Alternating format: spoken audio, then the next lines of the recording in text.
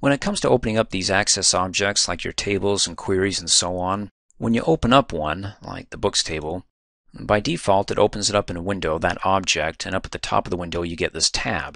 That way if you have more than one opened, like our books query, double click, to toggle back and forth between the windows, just click on the corresponding tabs, like for the books table and then back to the books query. Now there are three different ways you can view your access objects or three different windows to view them in. The default of course is the one that contains tabs up at the top and the other two or all three of them collectively can be found backstage clicking on the File tab, going down to Options, selecting Current Database and it's right there. Document Window Options. You got three. Overlapping Windows, Tab Documents, and Display Document tabs which is in conjunction with tab documents, meaning that if I choose overlapping windows, well, you don't get that option to include tabs on the overlapping windows. So let's go ahead and go through all three of them. We covered the first one, the tab documents with the display documents tab checked. Let's go to overlapping windows. And overlapping windows is the only setting that will allow you to position the open windows around and be able to resize it which if a company wants you to design their database with controlled access of the front-end user with where, what, and how they see the windows, then this would be a good option. So for example, select it, overlapping windows, click okie dokie.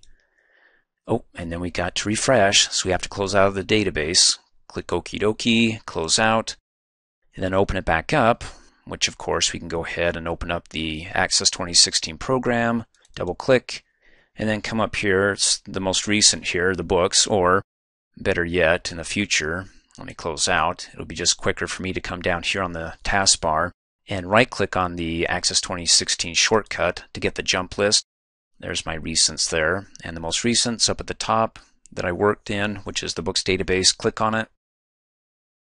Cool, let's go ahead and open up one of these in the overlapping windows mode, double click on the books table, and there you go. You don't get the tab up at the top, but you do get a window that you can resize, and you can see the window options over to the right, the minimize, well, maximize in this case, and close, which you have for the entire program up at the top. So if I come down here, click on maximize, well, they're right next to each other, so, well, don't click on the outer X. That's going to close the whole program.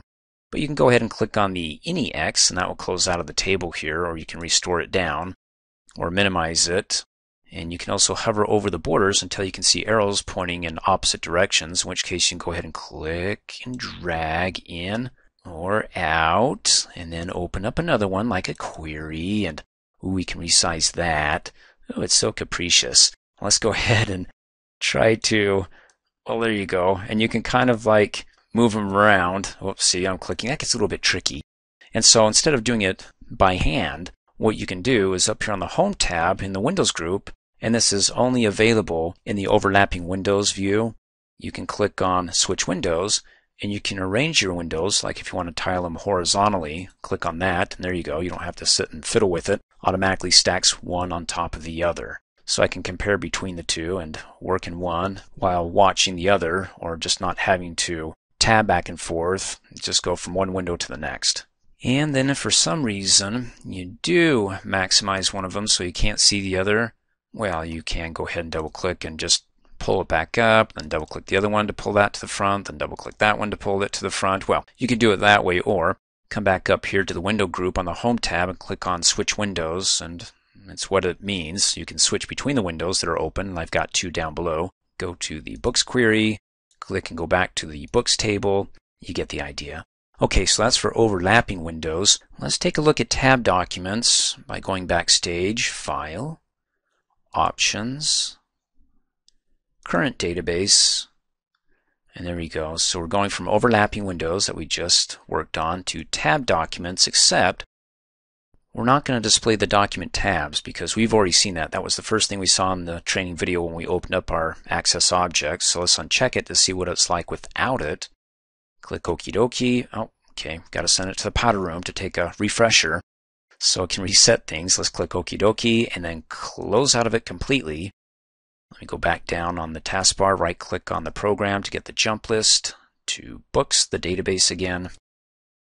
And let's go ahead and double click on books. And looky there, you don't get the resizing handles at all, so you can't get anything that's overlapping, so it rules out the overlapping window option for me to go ahead and, well, if I click on Restore Down, it does the entire program.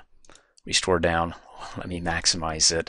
So you don't get that option, so if I open up the Books query, double click, it's overlapping the other. And so you can go ahead and, you know, just go back to the books if you want to see that again and double click, but it's already opened. And so if you want to be able to switch back and forth between the two, well, in the tab documents, you don't get on the Home tab the Windows group. It was only available for overlapping windows. So if you want to be able to get that switch feature so you can switch back and forth without having to double click to pull the query books back up to the front or any other windows that you have, then you can add that command to the quick access toolbar. So we want to come up here, right click on the quick access toolbar to customize it.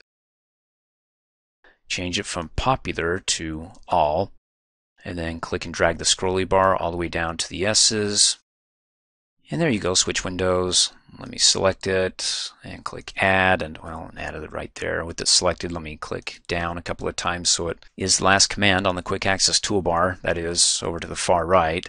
Click OK, and then come up here, click on the switch windows, and hey, there we go. I can just come up here and click on query the books query to go to that and then to go back to the books table. You can do it whatever works best for you or you feel most comfortable with because you can just as readily go ahead and double click on one to pull it to the front as coming up here on the quick access toolbar with the switch windows command.